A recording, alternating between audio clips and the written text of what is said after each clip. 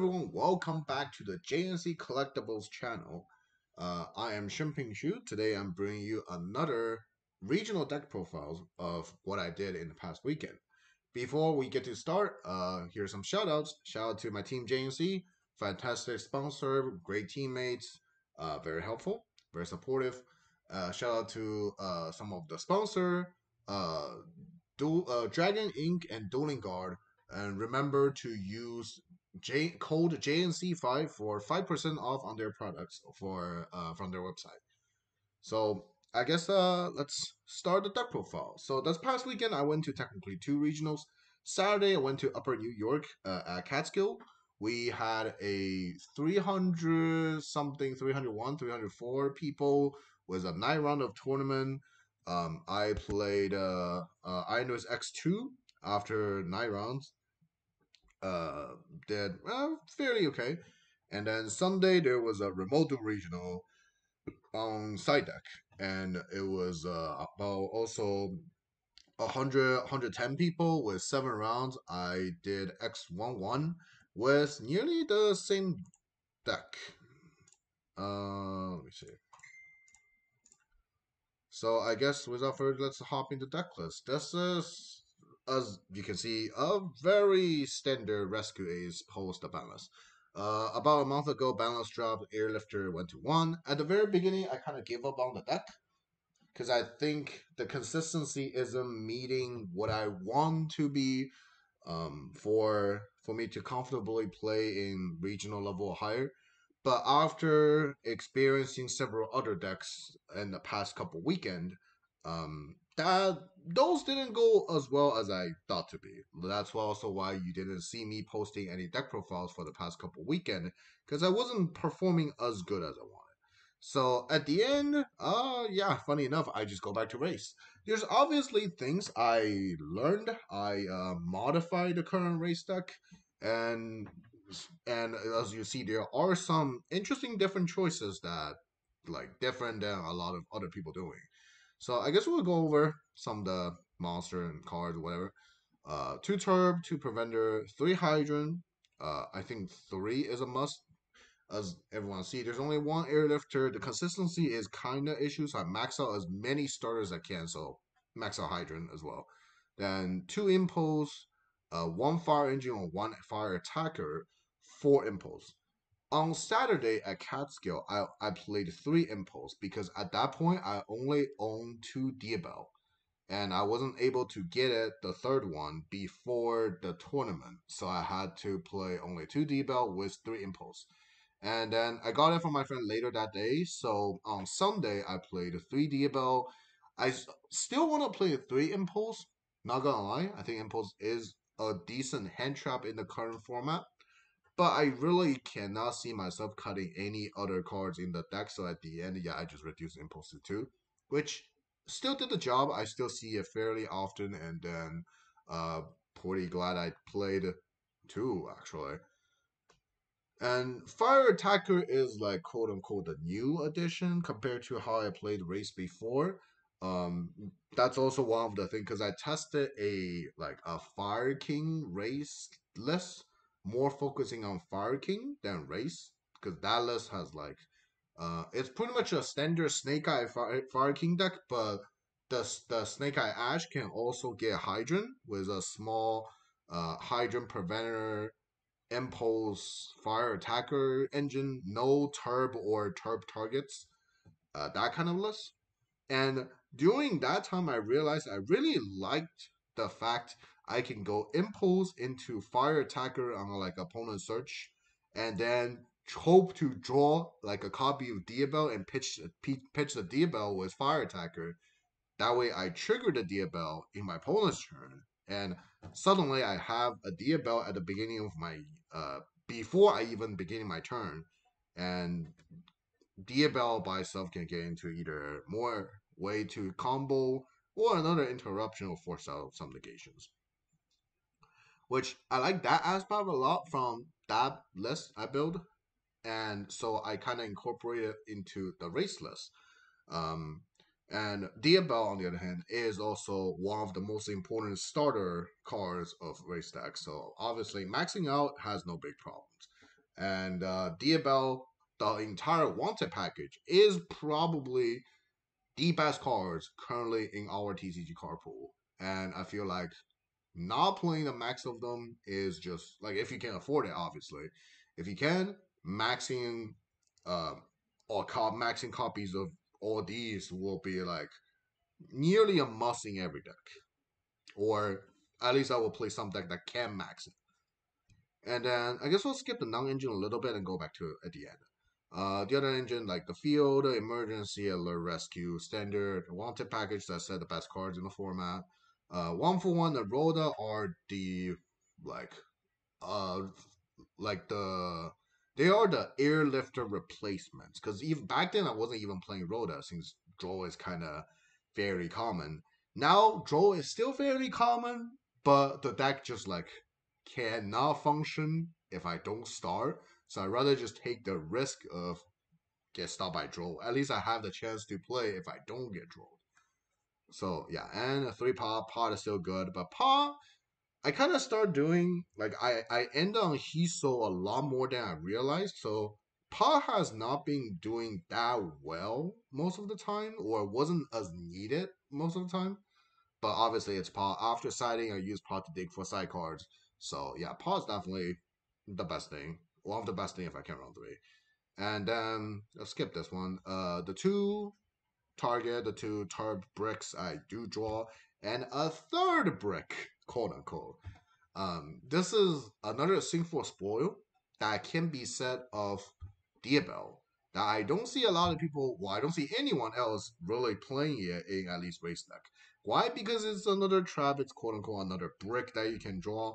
But if I hypothetically don't play this, I think it will most likely become Call by Grave, which is still a non-engine, which does which means it's still kind of quote unquote bricks, or another copy of Impulse. However, with the existence of this trap, Silveria, um, it gave me a different layer of combo that I can do. In situation where I get to go first, I obviously there are 60 copies of Diabells in the deck with additional of pots. Um, with this many of Diabell in the deck, it's very possible that if I able to combo, I can save the Diabell. And like instead of using Diabell as a starter, I can just play with other cards and use this later when that happens, if I do still perform my whole combo, my ending board could be something like a Turb set 4 with Diabell setting this trap. This trap is a fast saying, send a Diabell monster from my hand or field to graveyard, then target a face-up card on the field, negate permanently. Um, it's a it's a normal trap, so essentially it can just it's an omni negate to nearly everything on the field. That the downside is it kind of require Diabell to be set on the field, or if you have additional Diabell in hand to use it. The good thing is whenever this resolve, because like this cost send a Diabell uh, from hand of field, it will trigger Diabell's graveyard effect in your opponent's turn. So I, I get I get a free Diabell back after resolving this, which turned this into like a built-in interruption and the same time strong follow up as one card. And that's how powerful this trap is. With this amount of Diabell, it's likely I I can to push for combo without Diabell and use this to set it. I I remember during the regional tournament I played yesterday. Uh, I had a game where I start my turn with just like race cards, and I, I play into one hand trap and it was like Hiso Safor. And my Hiso ripped a wanted. So I just wanted to get a Diabell. Diabell sent one of the trap of the turb, summon it, and then I uh emergency to reset the trap back. So this this this become free. The Diabell's uh set the Silveria for my deck. So my ending was just like Hiso Diabell with five non sets. But this is an omni negate, so it kind of it just prevented my boy even get break by like lightning storm or evenly or something. And yeah, my opponent automatic like guaranteed just not breaking it. So this um I also do have another game where where I roll open all three of these traps, and uh I still won that game after grinding. But yeah, it, there's definitely the risk and reward. But I think the reward at the moment is worth the risk. and I like to play it. Then I guess go back to a little bit of non-engine. Ash, Veiler, Super Poly are the only non-engine I play at the moment in the main deck in this version. Couple of reasons. We are right now in a very weird format. Like a lot of people don't really have any tournaments um, during this one month weird gap time.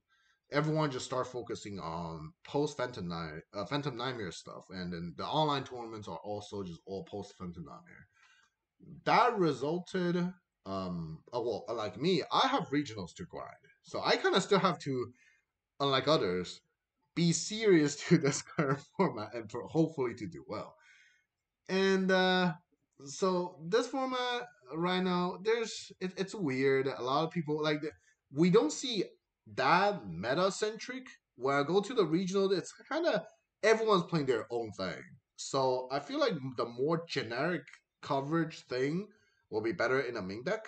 However, there are scary decks. Lab is definitely one of them because rollback now is a thing. Um, Bonfire is also a thing, but no decks can really utilize Bonfire yet. So Bonfire hasn't really become that relevant. But but rollback is definitely a scary deck, um, or scary thing from the lab deck that I kind of have to respect it. So out of the out of those, Ash and Super Poly become one of the first choices I look at it. And then uh, Super Poly is also good. It covers the Fire King matchup and Mannadium matchup, which is the other two that I'm scared of. Oh, as well as Race Mirror, for obviously reasons. Um, because Super Poly serves this big of a coverage, it's also something good that I can just impulse first hope to even fire attacker, draw into it, and have a super poly to start my turn. With this kind of logic here, I end up choosing super poly. Super poly and Andrew's winning winning me so many games out of uh, out of the two regionals I played, and right like if I can, if anyone can, like having spaces in the extra deck, I think super poly is like the best non-engine right now. Ash, on the other hand, honestly, outside against Labrynth, Ash is really mid to even bad. It usually doesn't do enough. It usually like isn't as needed. Like yes, it's a fire, but whenever I get to Sunlight Wolf, Ash is usually my hand instead of already being used in the graveyard. So it's like that. This doesn't like Sunlight Recycle Ash usually doesn't happen. The game doesn't go that far. But it's like because Lab, because it's coverage from ads and still an Ash. I still I ended up still playing it in the main. Veiler, you it, it was imperm. However, with like originally three impulse, impulse into fire attacker, fire attacker draw into an imperm feels very horrible. so because of that, I replaced imperm with Veiler. Veiler also being a spellcaster uh, that turn on Selene, which is also the additional thing that imperm doesn't have. Imperm also kind of like conflicting with Super Poly and the other like Terp set four because sometimes my backwards don't even don't even have enough spaces. So at the end I was like Imperm, yeah. It's also not as good against specifically Lab or even Fire King. So at the end I was like, yeah, Veiler is probably the better one. Um, just because this uh the the impulse fire attacker uh synergy with it. So yeah, and Veiler become the the other choices of my non-engine. And as you see, I have the rest of my hand traps in the side deck. Like game one, it's like it's very the format is kind of a uh, you know good variety, and the the best decks all lose to different things. So it's very hard to build the non-engine portion to cover everything. Which at this point, I'm just saying I'm covering like a good amount. Super Poly already have a good coverage, so I just played the most generic two, and I have the specific ones in the side. Drolls for Mannadium, honestly really specific Mannadium. Maybe some random other decks that I can't really think of at the moment, but it's really mid against a lot of other decks. Um, even like Fire King, uh, if if I play against some like Snake Eye specific combo Fire King, yeah, Droll is good. But if I get to play like just pure like Elephant Beatdown Fire King, yeah, Droll is pretty bad. So yeah, so so so Droll's per I that's why I prefer Droll in the side because it's not guaranteed working well hundred percent of the time. Crow, it's okay against Lab. It's very good against Fire King. It's nearly doing nothing against everything else. So it's another card better in the side. Belle as well. Belle is very good against Lab. Very okay against Fire King. Nearly useless against everything else. So yeah. With these amount of hand traps in my side, I can definitely just swap different like engine pieces, non-engine pieces in different matchup and have like still a good coverage of after sighting. Um, I definitely have lost like a variety game once, but I ended up backdooring game two and three because I still have enough tools on my side. So yeah, I think serving nine more spots in for the hand traps are okay. Um, I guess we'll skip this one. Duster for the mirror match, despite it's, it's only one of, but it's Duster. This is like the only good back row removal, especially the back row removal that's like good after I impulse already. Impulse kind of conflicting with Lightning Storm and evenly. So at the end of the yeah, Duster is probably the better one. It's, the, uh, it's probably the only one. Um, Silent Graveyard, in my opinion, is the deep barrier against some decks that doesn't lose to deep barrier which specifically talking about lab, tier, uh, Fire King, and I guess that's the majority ones. Um, it's also a good thing because it's a quick play spell. It works going second. Like, uh, I I remember on Saturday I played against Fire King guy. He ended on I think Hiso, uh, Arvata, with next turn Baron Baron get Kirin with Ponix coming back and Garunix in the graveyard. That kind of board. Some back rows. My turn, I look at my hand. Okay, my game plan was simple. Super poly the board uh, for the Arvata and Hiso, and then Silent Graveyard, lock everything else. And that well, that pretty much just sealed the game, I think.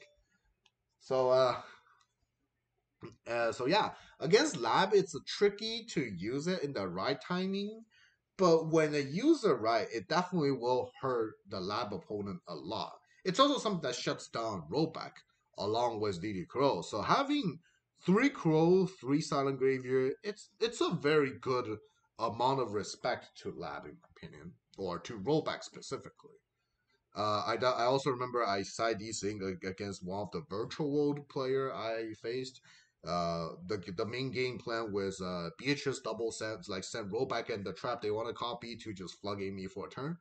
Uh, I just hand trap him down with the other things, didn't get to use Crow or Silent Graveyard. But definitely side the main and feel safe against that matchup for that specific situation. And the last two cards, Sprint and the Scatter Shot.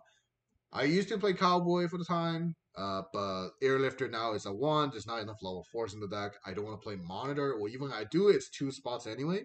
So at the end, I just choose Sprint plus Scatter Shot. Will still do the job. Any three monsters doing that. Um, the race that do grind a lot, well, should be grinding a lot. That kind of a time card will be required. But realistically, when I played, I rem- I think I either just win dice rolls or I just scoop very fast. I don't. I didn't really get. I didn't really use these cards at all during the past weekend. So uh, these two, if time is never a thing, I think these two will be actually just the barrier for Mannadium. But for the fact I have Typhon in my extra deck to cover that matchup, uh, with some Drolls and other hand trap and super polys, I think not having the deep barrier is okay. Like there are significantly less amount of pure leaves uh, existing, so the importance of deep barrier isn't as much anymore. And then the extra deck, I, I guess I forgot to cover. It's pretty much standard as it hasn't really changed. Uh, more than like about 13 of those should be staples or standard to any race deck. 2 SP, IP, Double Charmer, Hiso, Selene, Apple Axis, Sunlight Armor, Linkuriboh, and then obviously the two super poly targets. Uh, I thought about playing Gearfried, the Iron Knight.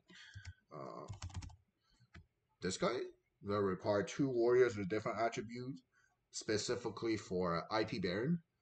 It turned out most of my Mannadium I play tested ended on either uh, so whatever link monster they put on top, either being Apollousa or Little Knight, can be fused with one other synchro monster they summon. It will be either IP, uh, no, it will be SP, Despater or Apollousa Baron into Mud Dragon. So at the end, I was like, well, Gear 3 is probably not as needed. Um, so I just didn't play at the end. Yeah, so overall, this is the less. It definitely has some of the ideas that I practiced in the last couple weeks in other decks that didn't make to the top cut. Um, but overall, I'm pretty happy about it. This format is also ending. I think I have like one or two more regionals left, and we will be completely going to post Phantom Nightmare format.